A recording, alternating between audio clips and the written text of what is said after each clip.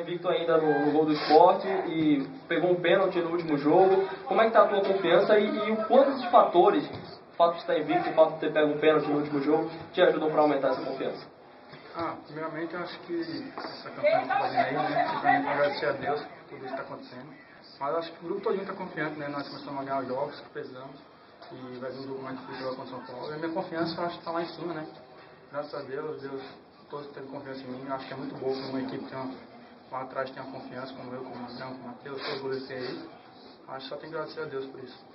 Você, desde as categorias de base, tem fama de cara que defende pênalti alguma técnica especial, Saulo? Eu já vi você dando uma decisão com o Náutico pegar três pênaltis numa série de cinco. Que técnica é essa? É o teu tamanho? É o tamanho dos braços que ajuda?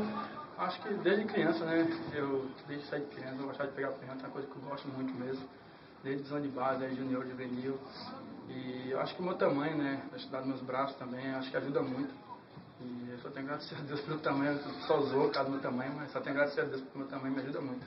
Saulo, para alguns torcedores assim, bem supersticiosos, você é a melhor pedida para o jogo do São Paulo, já que você está invicto. Você disse que não é supersticioso, mas o que você encara essa, esse carinho da torcida com você, já que Magrão é um ídolo? Ah, eu aceito tudo que diz a torcida aí, né? Vê assim, falou que é mão quente, pé quente.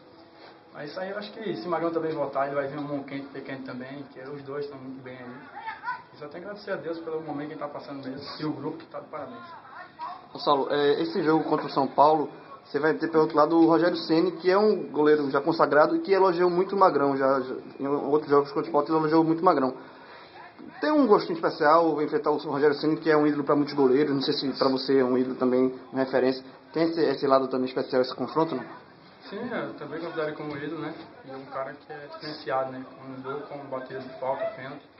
Espero que não tenha nem falta nem pênalti para ele bater para não ter que jogar contra ele ali para ele bater contra mim.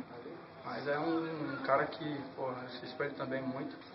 E espero que não aconteça nada no jogo para ele vir bater falta ou pênalti.